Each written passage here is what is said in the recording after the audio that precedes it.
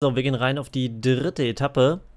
Vlad van Mechelen ballert uns hier nach oben, da kommen einige Attacken. Leider will Timton Teutenberg nicht so richtig das Hinterrad hier von Jemane holen, beziehungsweise eigentlich von Henry Ulig. Kann schon sein, dass wir dann wieder für Henry fahren.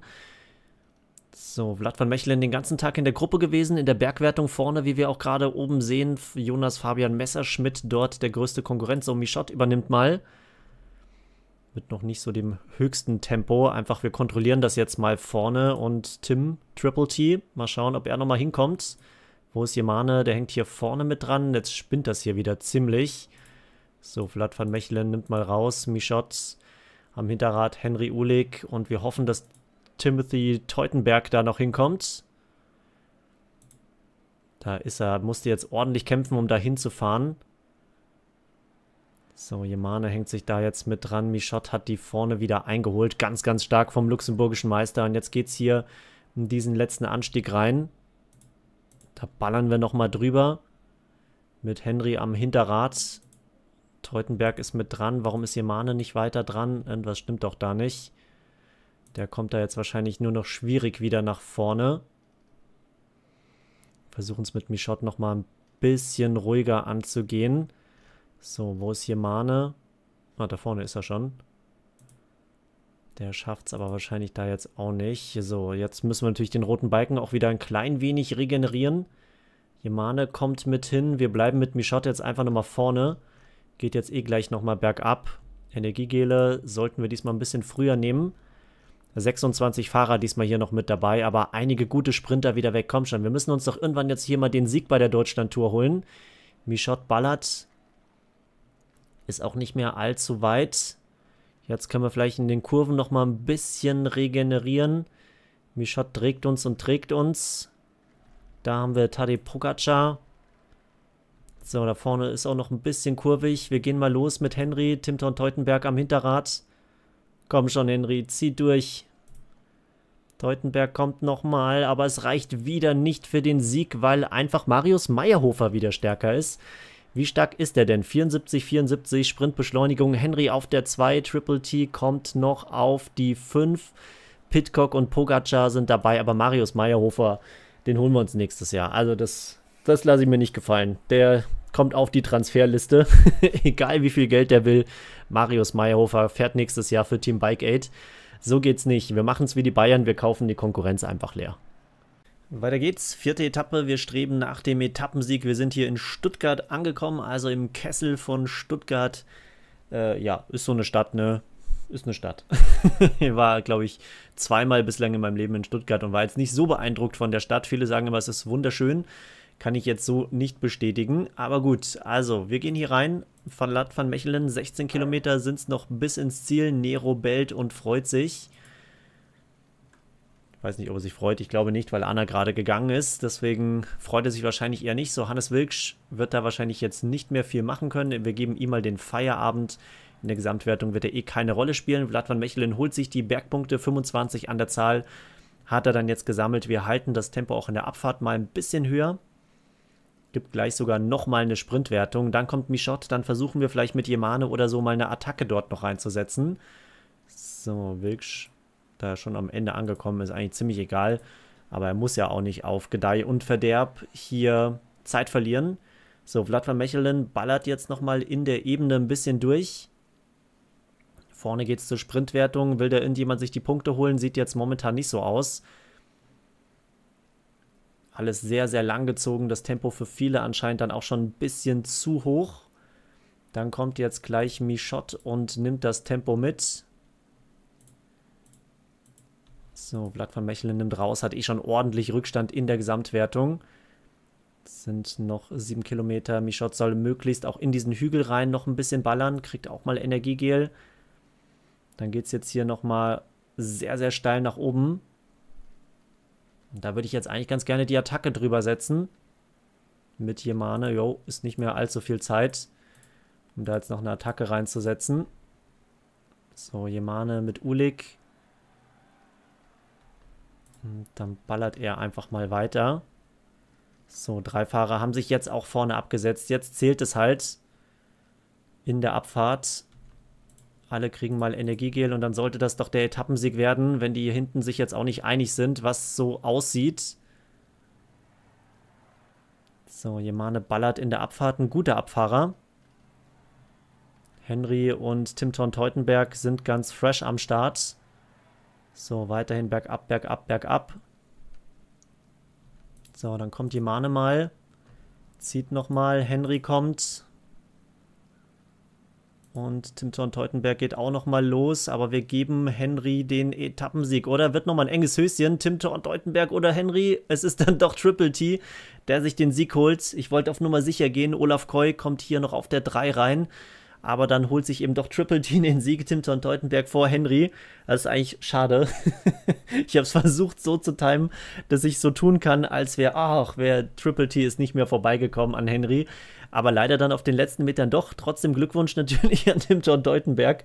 Fuck.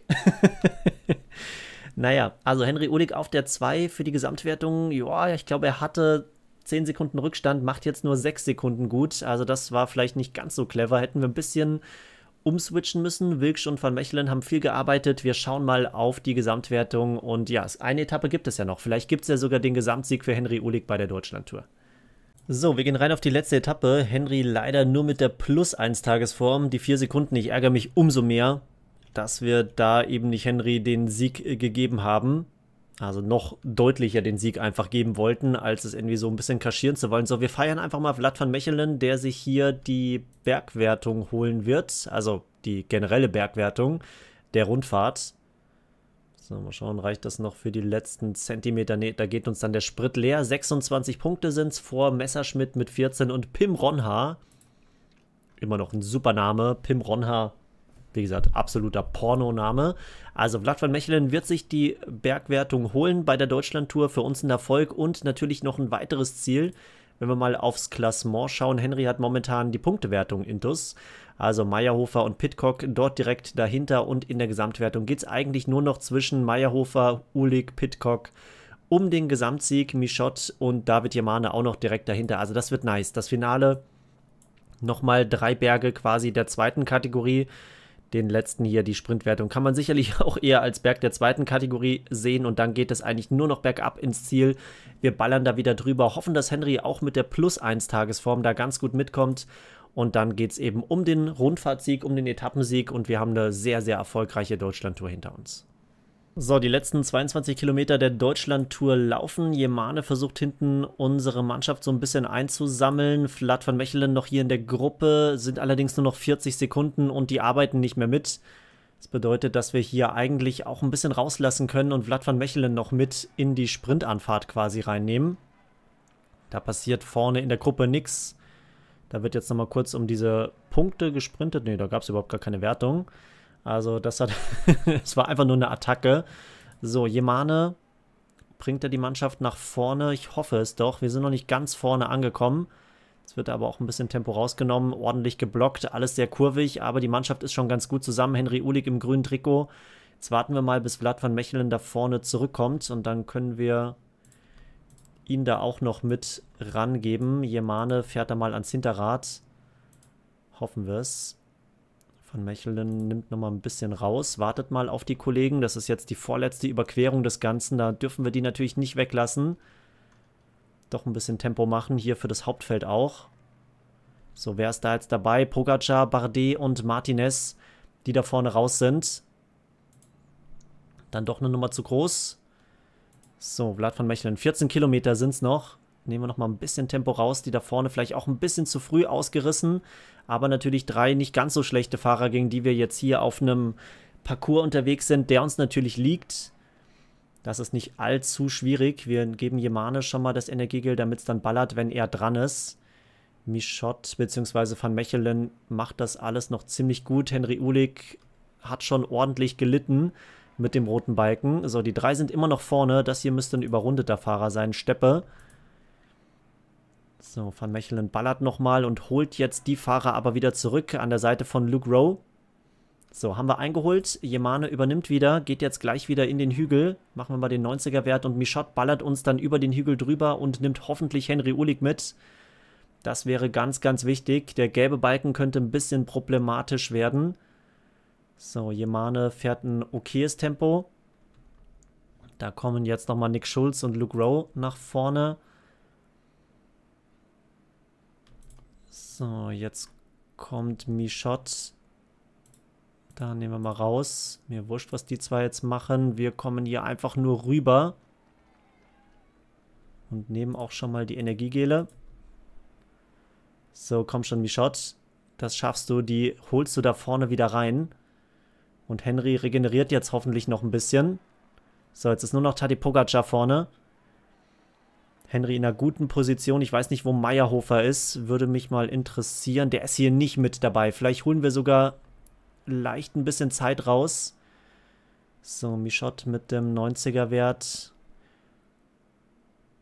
Ist jetzt allerdings dann auch gleich ziemlich durch. Hier geht es nochmal bergab. Haben wir nochmal die 99 rein für Michot. Henry Ulig sind noch 1,4 Kilometer. So, geht jetzt mal los. Henry Ulig sprintet nochmal. Vorne Tadej Pogacar. Henry kommt da nicht mehr vorne hin. Pogacar holt sich hier den Sieg. 20 Sekunden sein Abstand. Ich weiß nicht, ob hier ein Zeitunterschied gemessen wird. Ja, Henry wird nur Vierter auf der Etappe. Jetzt die Frage, wo ist Meyerhofer? Und wird hier tatsächlich ein Abstand gemessen? Das ist natürlich die nächste Frage. Hier ist eine große Lücke. Ist Marius Meyerhofer schon da? Ah, der war Achter. Okay, okay, dann hat sich das erledigt. Also kein Gesamtsieg leider für Henry bei der Deutschland-Tour. Marius Meyerhofer wird sich den Sieg holen, außer Tati Pogacar hat da jetzt noch ein absolutes Wunder gerissen. Da sind wir nicht mehr hingekommen. Trotzdem wieder starker vierter Platz für Henry auf der fünften Etappe der Deutschland-Tour. Wer hätte gedacht, dass wir mit Henry Ulik hier so vorne reinballern, aber richtig nice. Formhöhepunkt natürlich auch ordentlich gekickt. Und wenn wir heute noch die Plus 5 gehabt hätten, wäre wahrscheinlich sogar noch mal mehr drin gewesen. Vielleicht der nächste Etappensieg. Aber es sollte nicht sein. Wir gehen rein in die Siegerehrung. Wir sehen Tadej Pogacar 9 Sekunden. Hat er dann noch mal gut gemacht. Dann wird er sogar, puh, yo. Also, dann sogar der Gesamtsieg für Tadej Pogacar. Marius Meyerhofer Pitcock noch auf der 3, Henry Ulik auf der 4 in der Gesamtwertung. Alles aber super, super knapp, mega spannend. Nils Michot auf der 7. Richtig geiles Rennen. Dann in der Bergwertung haben wir Vlad van Mechelen vorne. In der Sprintwertung müsste es aber gereicht haben durch den achten Platz von Meyerhofer. Holt sich Henry Ulig also die Sprintwertung bei der Deutschlandtour. Sehr, sehr nice. Die Nachwuchsfahrerwertung geht an Meyerhofer, Thomas Pitcock. Aber Meyerhofer könnte man echt mal schauen, wie es da vertraglich auch aussieht. Und Team Bike Aid dann auf der 2 hinter den Emiraten. So, da schauen wir mal ganz kurz, wie es beim Meyerhofer vertraglich aussieht. Der Vertrag läuft nächstes Jahr aus. Also da könnte man auf jeden Fall mal sagen, jo, den haben wir eh schon auf der Liste. Sprinthügel, Potenzial ist sogar noch ein kleines bisschen vorhanden. Ebene 72, Marius Meyerhofer würde uns eigentlich ganz gut zu Gesicht stehen. Ähm, dann haben wir nämlich einen weiteren Sprinter. Wir sollten uns allerdings auch eher vielleicht mal Richtung Berge noch orientieren. Da fehlt es uns noch ein klein wenig. Da haben wir mit Yemane Moassa schon ein bisschen was Gutes. Sicherlich kommt nächstes Jahr Emil Herzog noch mit dazu, der hier im Spiel aber nicht der absolut beste Bergfahrer ist. Also Hannes Wilk, Nionkuru sicherlich auch ganz ordentlich in den Bergen. Also da sollte der Fokus dann doch eher auf Etappenfahrer liegen. Aber ein super Sprinter wie Marius Meyerhofer, der tut uns sicherlich nicht weh. Judy, das war die Deutschlandtour und das wird so ziemlich das letzte Rennen gewesen sein, was wir dieses Jahr fahren. Da gibt es eigentlich nur noch den Sparkassen Münsterland Giro, den wir uns jetzt dieses Jahr noch reinziehen werden. Ansonsten simulieren wir das durch machen ganz kurz einen Saisonabschluss mit den Transfers, was so passiert ist, wer wie wo welche Rundfahrt gewonnen hat. Und dann geht es auch schon in die dritte Saison rein. Mit Team Bike Aid, das letzte Mal haben wir, glaube ich, fünf Saisons gespielt. Dieses Mal wollten wir es eigentlich ein bisschen länger darauf anlegen. Also auch in der dritten Saison werden wir wirklich nur die Sponsorenhöhenpunkte und ebenso die Höhepunkte für uns, wie die Deutschland-Tour, dann eben auch mit reinnehmen. Gut, also, dann geht es gleich zum Sparkassen Münsterland Giro. Vielleicht gibt es da ja nochmal den versöhnlichen Abschluss, aber ähm, persönlich sagt man ja eigentlich immer nur, wenn es vorher nicht so gut gelaufen ist. Und ich finde, die Deutschlandtour hätte kaum besser laufen können. Nach der Deutschlandtour machen wir nochmal was ganz anderes. Wir gehen mal auf Kopfsteinpflaster. Und ihr wisst, ich habe die Liebe für Kopfsteinpflaster entdeckt. Hier sind einige gute Fahrer mit dabei. Vorne haben wir Vermott, der hier mit der Rücken Nummer 1 am Start ist. Also sowas wie der Top-Favorit heute. Schauen wir mal, dass wir uns hier mit einreihen. Wir haben Van Mechelen noch an der Seite von Michot, allerdings Bouvier auch noch mit dabei. Hat uns gerade nochmal ein Wasser kredenzt, das sollte eigentlich bis ins Finale reichen.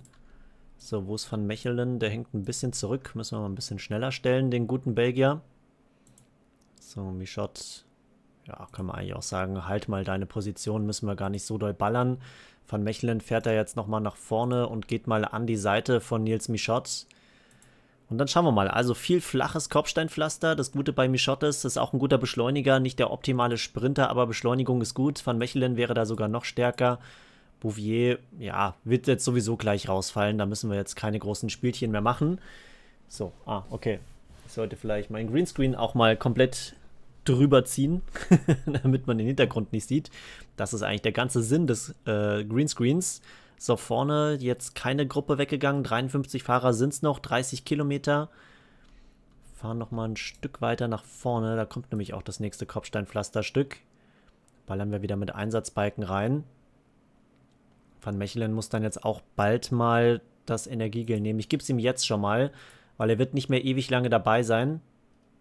Und das Tempo vorne ist schon sehr, sehr hoch. Also da hat Michot jetzt auch einiges an Positionen eingebüßt auf dem Kopfsteinpflasterstück. Wir versuchen mal unsere Position nach vorne zu bringen, aber es geht eh gleich wieder aufs nächste Kopfsteinpflasterstück. Also das bringt alles nicht so richtig viel. So, wir müssen ein bisschen schneller ballern übers Kopfsteinpflaster, ansonsten reißt da eine Lücke. Michot bleibt hier mit dran. Jetzt ist Tempo auch ziemlich raus. Bleiben hier mal so in Position, circa, damit auch Attacken gekontert werden können. Aber da werden jetzt einige rausfliegen. Die Gruppe wird nochmal deutlich kleiner werden nach dem Kopfsteinpflasterstück. So, Tempo ist raus, weil keiner mehr großen Helfer mit dabei hat. Vlad van Mechelen kommt hier hinten auch nicht mehr wieder ran. Da kommen jetzt die Attacken. Na, sollen wir die mitgehen oder sollen wir warten, ob hier nochmal die Lücke zugefahren wird? Das ist immer die Frage auf dem Kopfsteinpflaster. Hm, die drei setzen sich da jetzt leicht ab. Nicht gut, vor allem das ist Vermont, Andersen und Leeds. 22 Kilometer und hier wird nicht gefahren. Das ist überhaupt nicht gut. Jetzt kommt noch mal ein bisschen. Das ist eigentlich noch 18 Fahrer, also da sollte sich jemand finden, der die Lücke noch zufährt. Aber da wäre es vielleicht doch klüger gewesen, direkt die Attacke mitzugehen. Jetzt wird hier nochmal Tempo gemacht. Also vielleicht war es dann taktisch doch ganz klug, das Ganze nicht so zu Ende zu fahren. So, jetzt geht es eh wieder aufs Kopfsteinpflaster. Tempo ist hoch. Vorne nehmen sie jetzt auch ein bisschen raus. Wir kommen näher, aber wir kommen nicht ganz ran. Boah, alter Schwede, das wird für Michot aber auch ein brutales Rennen hier. Wir haben auch keine Helfer mehr. Müssen hier wieder aus der Führung auf jeden Fall rausgehen. Ein bisschen regenerieren sogar. So, wir bleiben mal in Position. Alle sind ein bisschen durch. 15 Kilometer sind es noch und es kommt noch ordentlich Kopfsteinpflaster. Jetzt schnaufen wahrscheinlich alle erstmal ein bisschen durch, bevor dann die nächsten Attacken kommen. Keiner kann mehr so richtig. Vorne Jones, Dr. Jones, Jones, calling Dr. Jones. Anscheinend hat ihn jemand angerufen. Ah ne, der gehört gar nicht hier mit dazu. Die nächsten Attacken kommen, die können wir nicht mitgehen. Da ist Koch mit dabei, Jonas Koch, Jarnier noch mit am Start. Wir müssen jetzt einfach mal hoffen, dass das Tempo hier relativ gleichmäßig hoch bleibt, damit wir dann aus der Gruppe raus was machen können. Mit dem gelben Balken eine Attacke mitgehen wäre tödlich. Aber es kann schon sein, dass sich eine kleine Gruppe hier durchsetzt. Sogar relativ wahrscheinlich, dass es so kommen wird. So, jetzt geht's auf die letzten Kopfsteinpflaster. Ich nehme jetzt schon mal das Energiegel.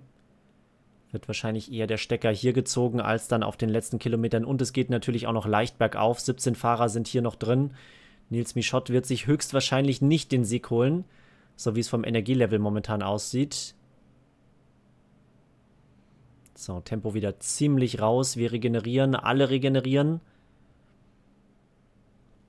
Jetzt kickt das Energiegel vielleicht gar nicht so verkehrt.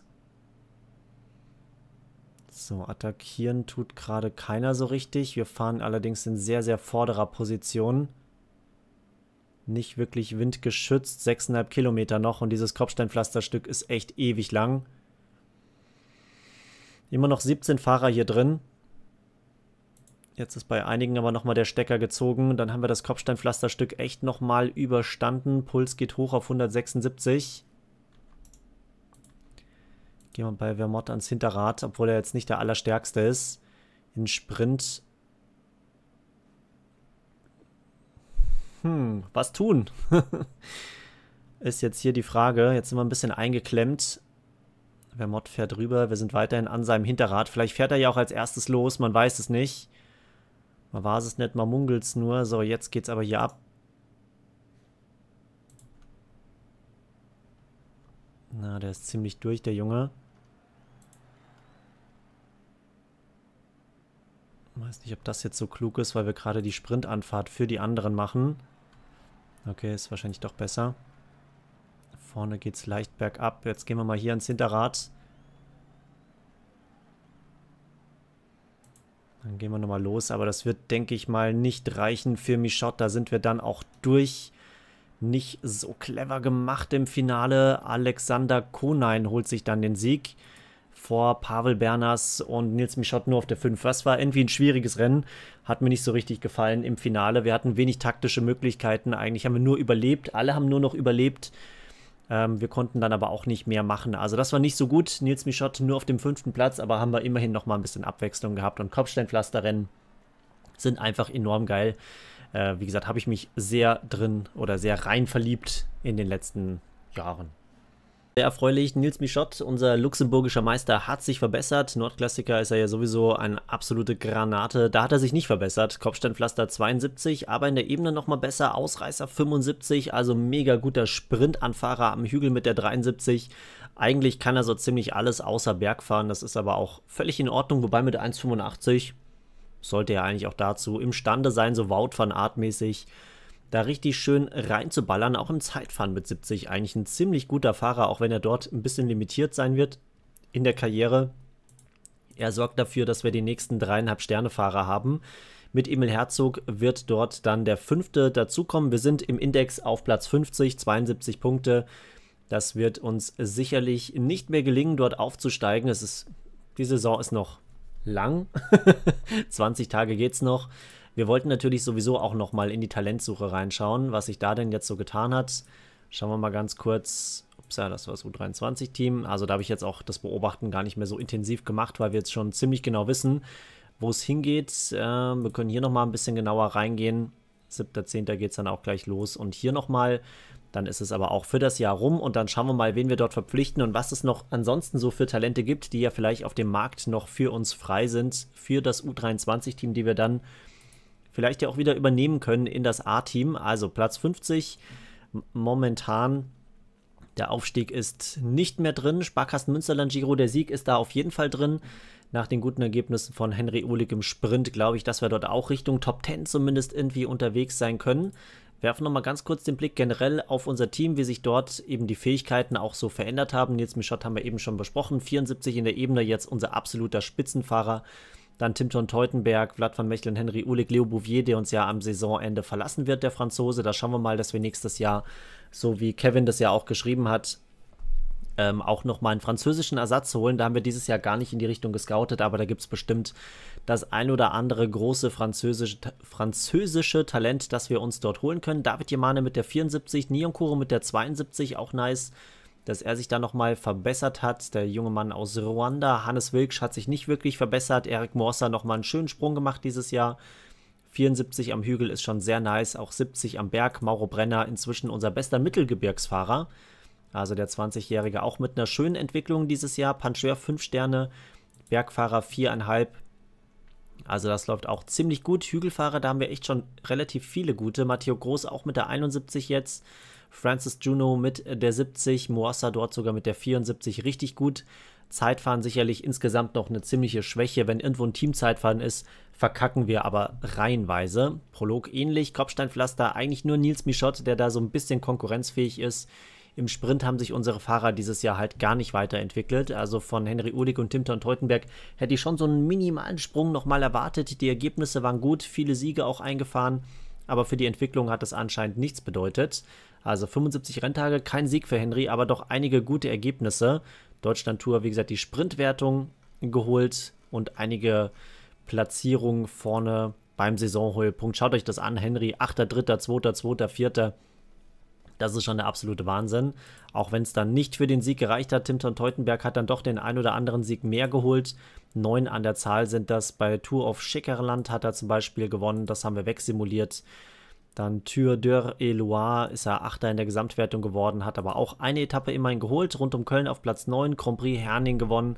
Also richtig gut, trotzdem keine Entwicklung bei ihm. Finde ich schade. Liegt natürlich auch an unseren relativ schlechten Trainern, die wir haben. Da überlege ich, ob wir vielleicht wenigstens einen Trainer im internationalen Modus nehmen, aber das können wir dann immer noch schauen. Wir können generell gerade mal ins Personal reinschauen. Wie laufen die Verträge? Also Wolfgang Oschwald läuft der Vertrag jetzt ohnehin aus. Da könnte man dann vielleicht nochmal drüber hinausgehen.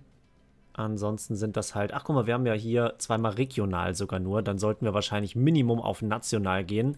Äh, beziehungsweise vielleicht sogar nochmal auf international, damit wir dort einfach die Entwicklung noch ein bisschen vorantreiben. Gerade bei den Spitzenfahrern sollte das passieren. Also, das war hier mal der Überblick. Ansonsten können wir nochmal auf die Ergebnisse schauen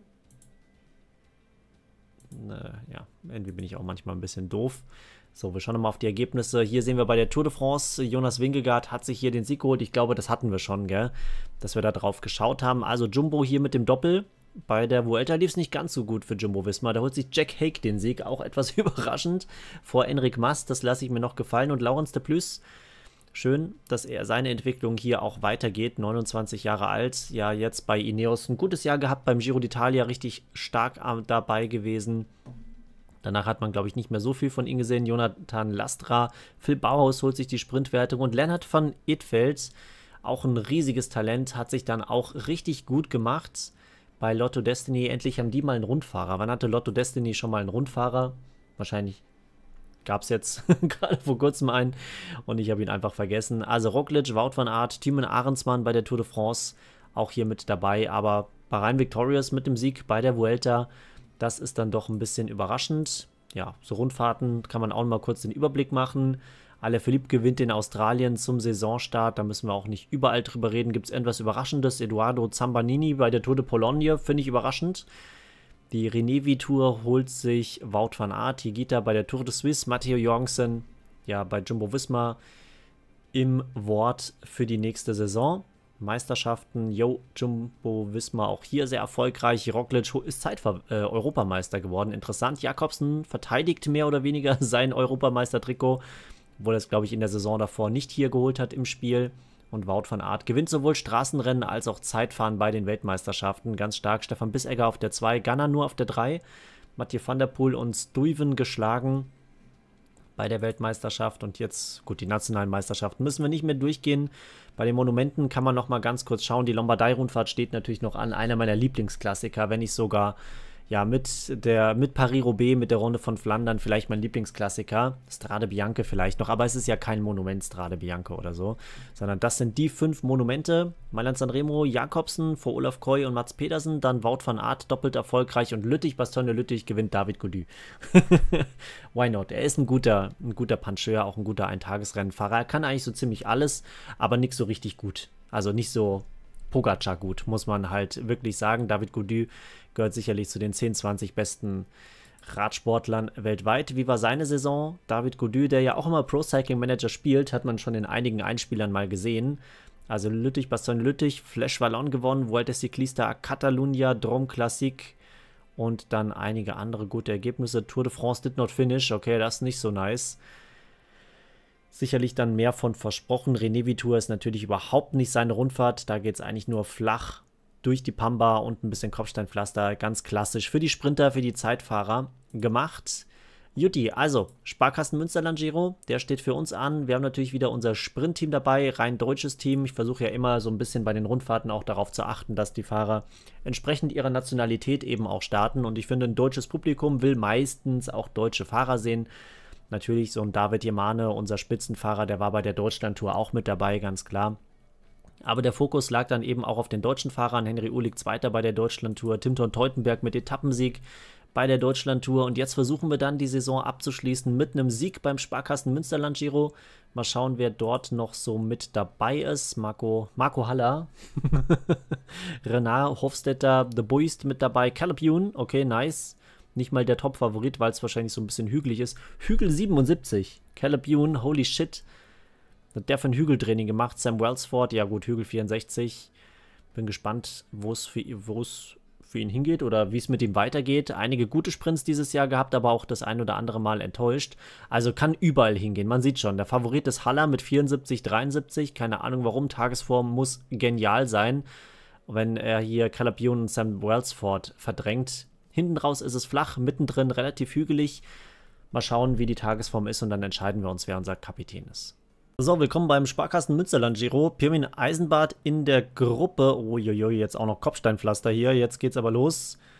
So, da sehen wir die 10 Kilometer Marke. Es sind noch 15 Kilometer, aber äh, 2 Minuten 20 der Vorsprung, 15 Kilometer. Die Gruppe hier funktioniert immer noch relativ gut. Ich glaube, dass hier hinten können wir vernachlässigen, weil der Sieger des Sparkassen Münsterland Giros, der kommt hier aus dieser Gruppe. Machen wir mal ein bisschen Scouting. Kretschi mit dabei, Loderer, Meiler, ja, sind alle okay. Eisenbart mit 69, 69. Hier, Putz. Der könnte uns putzen. Und Reinhard, oh, das wird ein schwieriger Sprint. Ich hasse Sprints, die man alleine fährt. Ich hasse, hasse, hasse es. Weil man immer das falsche Hinterrad irgendwie erwischt.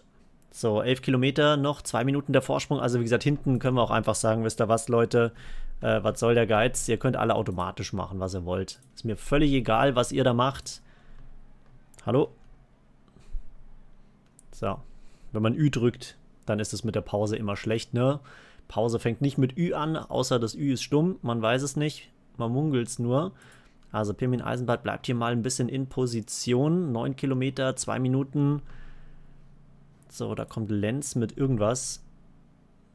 War keine Attacke. Bleiben hier mal dran. Aber Putz ist irgendwie immer hier hinten keine Ahnung, macht das wie dieser russische 800-Meter-Läufer früher, der immer hinten dran war und auf der Zielgeraden alle überholt hat. Hat irgendwie nicht immer so richtig gut funktioniert, hat sich immer sehr auf seinen Sprint verlassen. 6,9 Kilometer wäre natürlich mega nice, wenn Pirmin Eisenbart sich hier jetzt noch einen Sieg holen könnte. Gerade Vertrag verlängert um ein Jahr. Das motiviert ihn anscheinend. So, Energiegel wird genommen, ist genehm.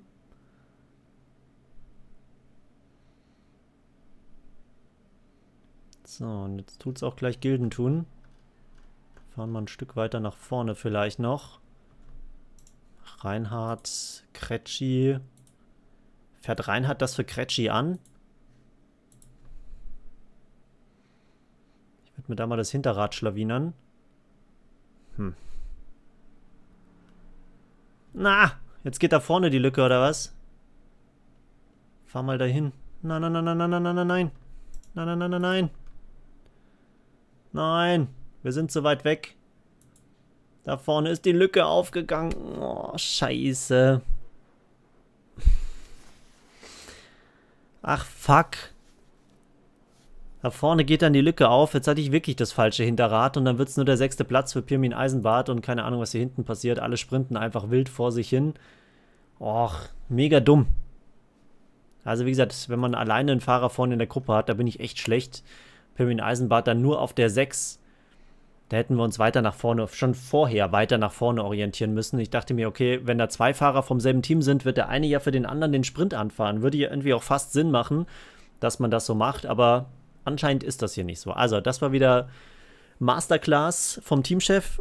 Saisons rum, sechster Platz für Pirmin Eisenbart, trotzdem gutes Ergebnis. Wir wollten in die Top 10 kommen, machen wir ein Häkchen dran und konzentrieren uns auf die Saison 2025. Wir gehen rein in die Talentsuche Ende des Jahres, 24. Oktober. Finde ich nice, diesen Draft, den es da jetzt inzwischen immer gibt. Macht eben auch die zweite Mannschaft ein bisschen sinnvoller. Also Paulo Muria haben wir schon fest verpflichtet. Jetzt die letzten Wochen nach dem Sparkassen Münsterland Giro und davor ist jetzt nicht mehr viel passiert. Rundfahrten in Marokko, Burkina Faso, ein paar okay Ergebnisse, aber nichts Berauschendes. Die Fahrer haben sich nochmal so minimal zum Teil verbessert, aber jetzt auch nichts, wo wir unbedingt komplett aus dem Sattel gehen müssen. Also Lumuria der ist schon ins Hauptteam übernommen worden. Da schauen wir nochmal kurz drauf auf den Fahrer. Den möchte ich auf jeden Fall weiterentwickeln. Zeitfahren aktuell die 62. Da hat er richtig viel Potenzial. Hoffen wir mal, dass er das auch mit ins Hauptteam so übernimmt. Ansonsten Team Moko Diallo, der senegalische Meister. Senegalesische? Senegalesische Meister. Klingt irgendwie richtiger. Ähm, der hat jetzt nicht besonders viel Potenzial, den lassen wir raus. Philipp Wirth wurde sowieso runtergestuft. Riyad Bakti haben wir auch schon drüber geredet. Und Mimuni, Usama, Abdallah äh, ist jetzt auch nicht unbedingt unser Ding. Deswegen übernehmen wir dort niemanden. So, das sind unsere beobachteten Fahrer. Ich würde gerne mal erst in die freien Fahrer reinschalten. Da wissen wir noch nicht so 100%. Können wir Filter Afrika oder so eigentlich einstellen? Kontinent kann man immer noch nicht machen. Das wäre echt nice, wenn man hier nach Kontinent noch filtern könnte. Dann gehen wir es mal durch. Liam Flannery. Wen haben wir da? Okay, ja, den haben wir gerade selber auf den Markt geschickt. Unseren Algerier, weil er eben doch nicht so pralle ist. Sprint und Beschleunigung 69 ist eigentlich gar nicht so verkehrt. Aber ich würde dann doch eher mal auf andere Talente setzen. Aber viel mehr gibt es hier tatsächlich gar nicht. Dann sollten wir wahrscheinlich doch unsere beobachteten Fahrer nehmen. Da ist Tahir Girma, Maxwell Simpson und Ali Seleke. Das habe ich mir schon mal angeschaut. Das sind die Fahrer, die ich in der ersten Runde jetzt auf jeden Fall draften wollte. Die nehmen wir mal mit rein. Maxwell Simpson eher in der Ebene gut, ganz guter Sprinter, aber als Anfahrer ganz passend. Ali Seleke ein guter Kopfsteinpflasterfahrer und Tahir Girma eben auch in der Ebene gut. Das sind halt alles sehr, sehr ähnliche Fahrertypen. So, den Rest können wir, glaube ich, skippen. Das ist für uns nicht ganz so wichtig. Dann schauen wir mal auf die freien Fahrer. Einschätzung, da sind schon ein paar gute dabei. Dan Vandenberg aus Holland, viereinhalb Sterne Potenzial. Da können wir jetzt auch wieder drei Fahrer. Wir können natürlich auch auf, aus deutscher Sicht noch mal ein bisschen schauen. Schauen wir mal, was an deutschen Talenten da so rumfliegt. Deutschland, Deutschland. So, da haben wir es. Also Cedric Abt, das wäre das größte Talent. Werfen wir mal den Blick rein. Puncheur, viereinhalb Sterne. Würde ich mal machen. Momentan bei Team Lotto Kernhaus. Den können wir auf jeden Fall mal verpflichten. So. Nehmen wir mal Cedric Abt mit rein. Max Merkel. Hat er nicht früher in der Bildzeitung immer die Bundesliga-Vorschau gemacht? Malte Maschke noch mit dabei. Luca Martin mit am Start. Wollen wir den mal mit ins U23-Team nehmen? Gab es ja ein bisschen Verwirrung bei uns auf dem Discord-Channel, aber das möchte ich jetzt nicht weiter ausbreiten. So, also da kann Luca Martin ja nichts dafür, um Gottes Willen. So, dann setzen wir das mal zurück. So, Cedric Abt, wir gehen mal weiter durch. Was könnte da so afrikanisch oder sonst irgendwie passen? Ich würde mal Dan Vandenberg tatsächlich mit reinnehmen. Puncheur eigentlich richtig gut.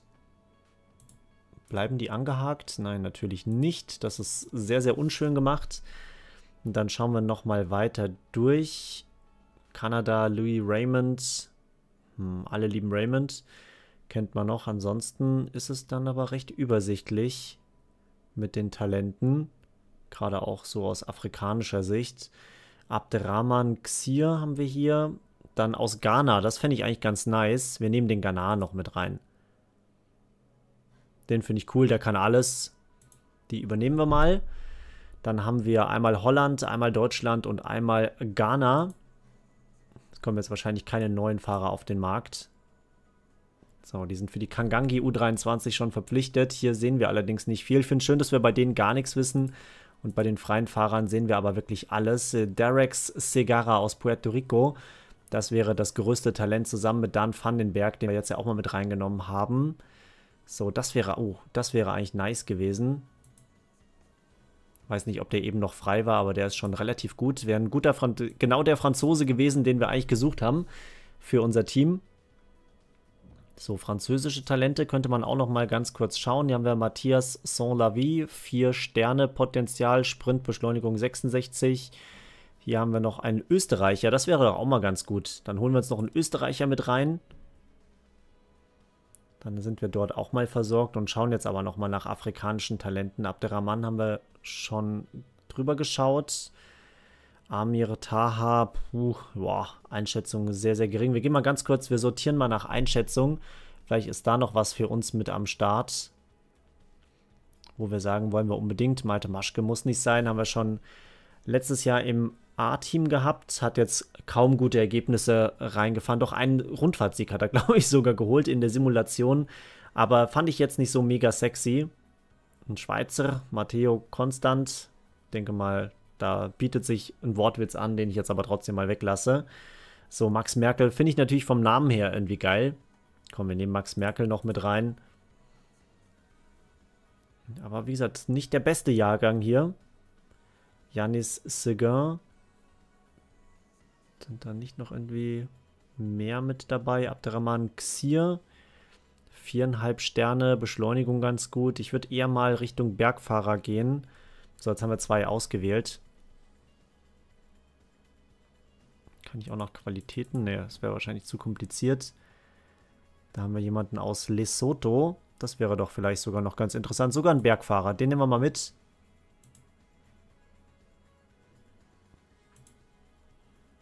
So, und dann filtern wir nochmal. Kann ich nach Attributen? Na, okay, nach Einschätzung. Ne. Kann ich nicht. Kann, kann ich gar nicht machen. Nach Qualitäten sortieren. Geht nicht, gibt's nicht, heißt es normalerweise. In dem Fall ist es aber geht nicht, geht nicht. So, Aaron Aus, natürlich auch ein nices Talent, aber die Einschätzung ist höher als das, das Potenzial. Clever. also es ist schon ein sehr smarter Move, ne? ich habe zwar kein Potenzial, aber ich gehe einfach mal drüber. So, was haben wir hier? Algerisch, da sind wir ja schon gut mit drin. Angola hätten wir hier noch. Varskio Armando. Irgendwie Armando klingelt bei mir irgendwie nackte Kanone. Hieß da nicht irgendwie der, der Attentäter Armando oder sowas? Ich weiß es nicht mehr genau. Carlos Silva. Da sieht man auch die portugiesischen Züge für Angola. So, wir scrollen mal durch. Belgien brauchen wir, glaube ich, jetzt keinen Fahrer. So, Gar was?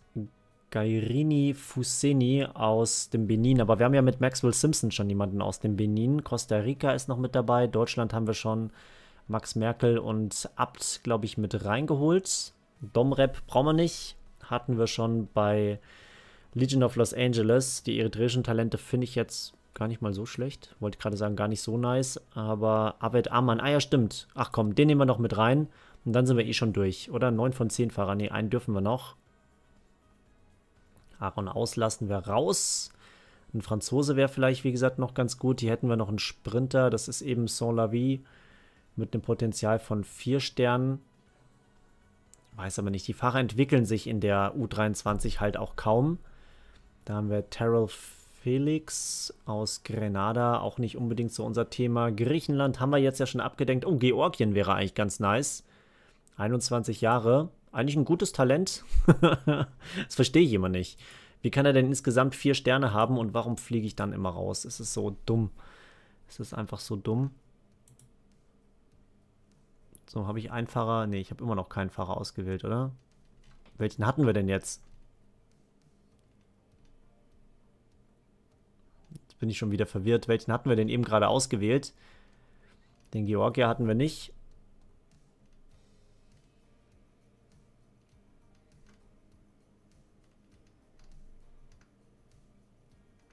Ich weiß es nicht mehr. Wählen Sie einfacher aus. Okay, ist der jetzt irgendwie übernommen worden? Nee, keine Ahnung. Irgendeinen hatten wir doch eben gerade. Mein Hirn funktioniert schon nicht mehr. Egal, wir scrollen nochmal durch. Ah ja doch, Arvid Amann hatten wir. Der war's. Der Bruder von Simon Amann bestimmt. Bin mir sicher, dass die miteinander verwandt sind. Wer was anderes behauptet, der tut Lügen tun. Bin ich mir ziemlich sicher. So, hier, Indonesien, ne? Nicht Monaco. Habe ich auch gelernt. Flaggen sehen sich ziemlich ähnlich.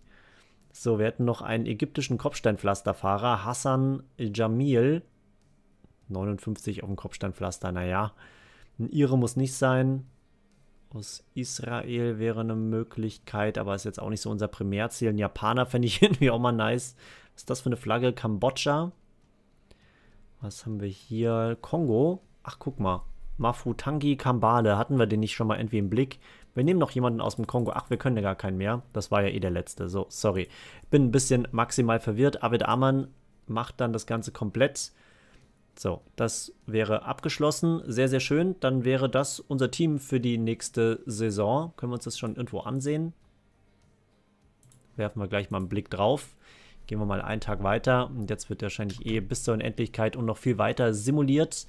Auf zu neuen Ufern. Leo Bouvier, Mach's gut, mein Freund. Dankeschön, dass du da warst. Nero fängt auch sofort noch an zu singen für dich, weil draußen natürlich ein anderer Hund wieder angefangen hat zu bellen. So 71 Punkte, irgendwie haben wir was verloren. 55. Platz für uns nur im Teamindex. Wieder nicht so gut gelaufen, ne? Das dauert schon noch, bis wir hier hinkommen. Wenn wir mal schauen, Platz 36 hat schon Index 2005 im Schnitt drei Sterne circa. Da sind wir ein bisschen schwächer.